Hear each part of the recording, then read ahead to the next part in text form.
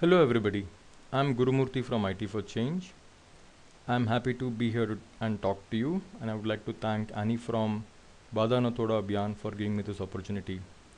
I'm going to talk about our work in ICT programs in school education and uh, this is the area in which PPPs have been introduced in a fairly large scale across India.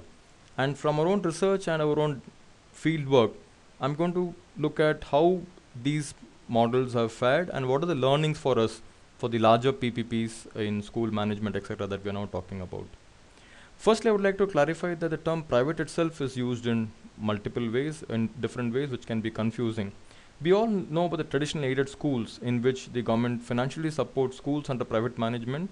However, here the private is a not-for-profit entity, which could be a trust or an NGO, which put its, puts its own money into the school and doesn't expect an economic return. However, PPPs, the way they are being promoted and used very widely in India today, the private entity is a for-profit entity which is actually investing for the purpose of recouping an economic return. And this distinction is very important to understand, especially in the context of school education.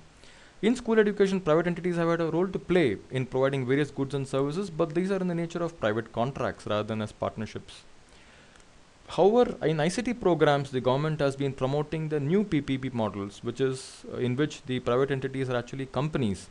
So what happens in the ICT at schools program, which is a fairly large government of India funded program work, operating in uh, all states in India, the ICT program is outsourced to a commercial entity like NIIT or Aptech.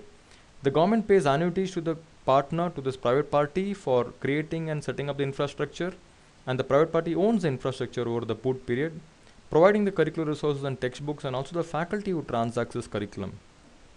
Now, Planning Commission in its document on you know draft policy on PPPs in education makes the claim that ICT PPPs in school education have succeeded and uh, we should actually learn for, from them for implementing larger PPP models in school education. However, our research uh, work clearly shows us that ICT PPPs in school education have largely been a failure and we need to understand why they have failed and what are the implications for larger PPPs in school education. We did a study of two large states in India, Kerala and Karnataka. In Karnataka, the boot model was adopted and in which the government outsourced the program to uh, commercial vendors who provided the curriculum. Now technology vendors, the curriculum they provide largely pertains to operating system office etc. because these companies don't really have a very deep understanding of education and of the subject that are taught in the schools.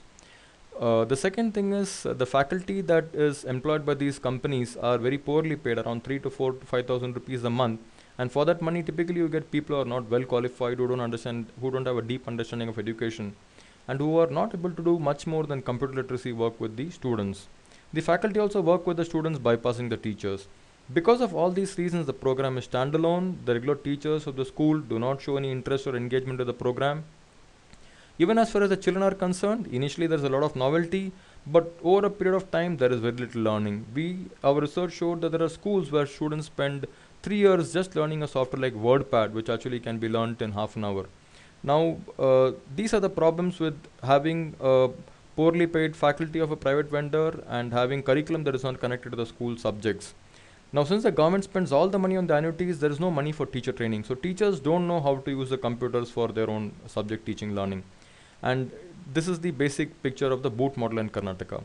In contrast, the Kerala model is uh, one in which the whole work is done in-house.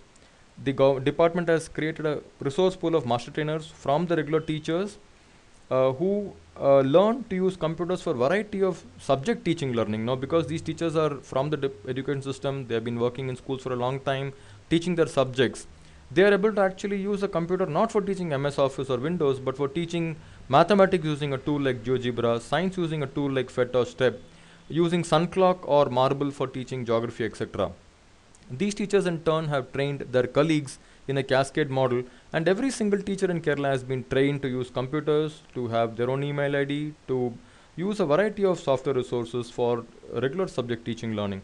Now the number of resources used in Kerala is very large, unlike a boot model where typically you have operating system and office. Here a large number of educational tools have been used. I have highlighted the URL where you can find a list of those software tools available.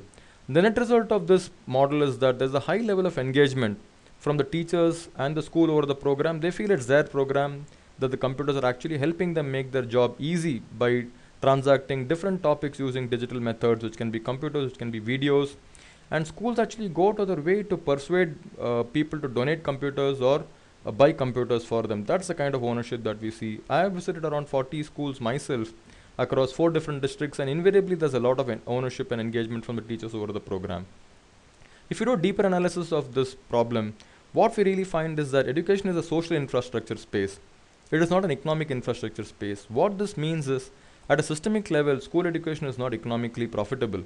And the investment that is required to be made will get huge returns, but these are social returns over a longer period of time uh, in terms of enlightened citizens, enlightened communities, etc. Whereas a commercial entity is looking for economic returns in a short period of time. Now, in trying to make economic returns in a short period of time, the entities have to do different kinds of practices which actually make the program a failure and paying faculty very poorly who cannot actually transact and use computers for subject teaching learning, undercutting investment on maintenance which creates high downtime, not providing internet which deprives the children and teachers of a very important source of learning.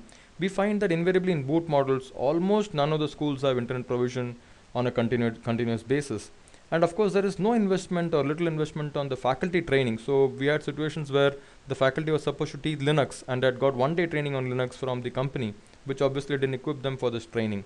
So the net result of the boot model where a commercial entity which is aiming to make profit is given a very core activity of teaching learning user tool using icts results in a situation where the basic purpose of the program fails because the purpose of the commercial entity is very different from the purpose of the education system in outsourcing that particular program. And uh, that's basically uh, the uh, I think the learning that we need to look at when we are saying let's privatize let's outsource outsource schools to private managements. If these are not-for-profit entities which are planning to invest their own funds and monies into the school it's a different issue. And who are not expecting an economic return it's a different issue. However if these are companies for-profit entities which are actually trying to make a profit out of it there can be the odd Delhi public school or odd private school which can make profit but at a systemic level it is not going to be uh, possible. And therefore when you talk of thousands of schools being handed over to private entities it is certainly a recipe for a, a disaster in the making. The private sector has a very important role but that's in terms of goods and service provision and not really in terms of partnership influencing the core processes of curriculum or pedagogy in a school uh, since I'm not here, I would like to leave my email address and contact here. There are some other websites that we maintain which are also relevant uh, from this topic point of view. If you have time, I would like you to see this uh, YouTube video in which the director RMSA Karnataka also talks about the issues in outsourcing in his own way. And uh, uh, if you have any questions, feel free to mail me uh, and I shall get back to you. Thank you once again for this opportunity to speak to all of you.